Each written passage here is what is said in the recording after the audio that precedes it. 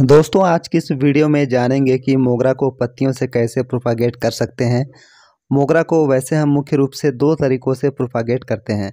पहला कटिंग से, दूसरा एयर लेयरिंग से, जिसमें सबसे ज़्यादा कटिंग मेथड ही उपयोग में लिया जाता है, जिसमें समय भी सबसे कम लगता है। लेकिन क्या आपको पता है, मोगरा को पत्तियों से भी प्रोपागेट किया जा सकता है। हालाँकि इसमें समय कुछ ज़्यादा लगता है बारिश का मौसम मोगरा को पत्तियों से प्रोपागेट करने के लिए सबसे सूटेबल रहता है। इस मौसम में मॉइस्चर और ह्यूमिडिटी बनी रहती है, जिससे रूट्स फॉर्मेशन जल्दी होता है। मोगरा को पत्तियों से प्रोपागेट करने के लिए आपको मीडियम टाइप की पत्ती लेनी है, जो ना तो एकदम से न्यू ग्रोथ वाली हो और न ही बहुत पुरानी। इन दोनों की बीच वाली मीडियम पत्तियों में एनर्जी ज़्यादा होती है।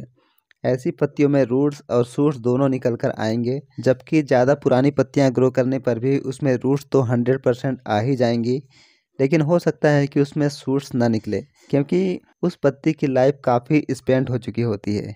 इसलिए मोगरा को पत्तियों से प्रोपागेट करने के लिए मीडियम टाइप की पत्तियाँ आपको लेनी है। मिट्टी आपको ऐसी बनानी है जिसमें रेत की मात्रा पर्याप्त हो, जैसे कि मैंने बना रखा है। मिट्टी पूरी तरह से अच्छी ड्रेनेज वाली भुरभुरी होनी चाहिए और मिट्टी में फंगस वगैरह ना लगे। इसके लिए उसमें फंगिसाइड ऐड करना बिल्कुल भी ना भूलें। फंगिसाइड यहाँ बिल्कुल कंपलसरी रहेगी, जिसमें आप ट्राइकोडर्मा या साफ़ वगैरह ले सकते हैं। इसके अलावा ग्रो करने के लिए जो कुछ भी आप लेते हैं, वो कम गहराई वाली होनी चाहिए, जैसे कि अभी आप देख रहे हैं, जिसमें ड्रेनेज होल भी बना होना चाहिए। ऐसे टब वगैरह में ग्रो करने पर मिट्टी की लेयर पतली होने की वजह से एक्सेस वाटर तुरंत ड्रेन आउट हो जाता है। इसमें सिर्फ़ ज़रूरत भर ही हल्की मॉइस्चर रह पाती है, जिसमें फंगस वगैरह नहीं लगता है और पत्तियाँ इजीली ग्रो कर पाती हैं। टब में मिट्टी फिल कर लेने के बाद मोगरा की पत्तियों को मिट्टी में हल्की हल्की दबा देंगे। पत्तियों का लगभग 10 से 12 परसेंट हिस्सा ही हमें मिट्टी में दबाना है। पत्तियाँ ग्रो करने के लिए जो मिट्टी आप बनाएँगे, उसमें आपको सिर्फ़ तीन चीज़ें ही यूज़ करनी है, मिट्टी रेत और फंगिसाइड उसमें कोई भी खाद वगैरह बिल्कुल भी ऐड नहीं करना है। नहीं तो पत्तियाँ गल जाएँगी। बिल्कुल सिंपल तरीके से ही हमें ग्रो करना है। पत्तियाँ लगाकर वाटरिंग करके इसे सेमी शेड में रख देना है। अगर बारिश अच्छी हो रही हो, धूप नहीं निकल रही है तो आप इसे खुली जगह पर रख सकते हैं। नहीं तो इसे सेमी शेड वाली जगह पर ही ग्रो करें। दोस्तों, यह पहला अपडेट मैं आपको चौंतीस दिनों का दिखाने जा रहा हूँ। मुझे हंड्रेड परसेंट रिज़ल्ट मिले। इसके लिए मैंने इसे कच्ची ज़मीन में रख दिया था, जिससे इसे ठंडक मिलती रहे। और चूँकि नीचे कच्ची ज़मीन में स्नेल्स वगैरह भी होते हैं, इस वजह से आप इसमें देख सकते हैं काफ़ी सारी पत्तियों को स्नेल्स वगैरह ने खा लिया है। अब देर न करते हुए मैं इन सारी पत्तियों को मिट्टी से बाहर निकाल लेता हूँ, फिर इसका रूट्स अपडेट आपको दिखाता हूँ।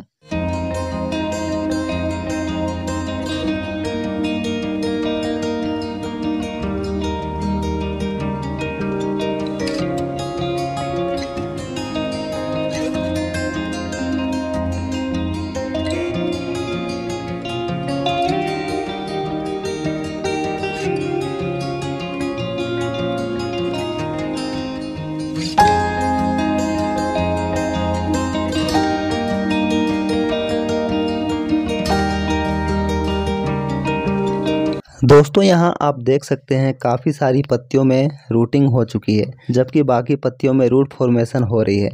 रिज़ल्ट जो है, वो काफ़ी सक्सेसफुल रहा। इस तरह से आप भी मोगरा को पत्तियों से ग्रो कर सकते हैं। मोगरा की जितनी पत्तियाँ, उतने पौधे आप मुफ़्त में तैयार कर सकते हैं। अगर आप जानना चाहते हैं कि इसमें सूट्स आने में कितना टाइम लगता है तो इसमें कोई फिक्स टाइम नहीं है। रूट्स आने के एक महीने बाद भी सूट्स आ सकते हैं। तो कभी दो से तीन महीने भी लग सकते हैं। इससे पहले भी मैंने आपके साथ मोगरा को पत्तियों से ग्रो करने की वीडियो शेयर की है, जिसमें मैंने आपके साथ रूट्स के साथ साथ सूट्स तक की अपडेट भी शेयर की है। उस वीडियो का लिंक आपको डिस्क्रिप्शन में मिल जाएगा। वीडियो पसंद आया हो तो वीडियो को लाइक और शेयर ज़रूर कीजिएगा। नेक्स्ट वीडियो तक के लिए आपका बहुत बहुत धन्यवाद। Thanks for watching.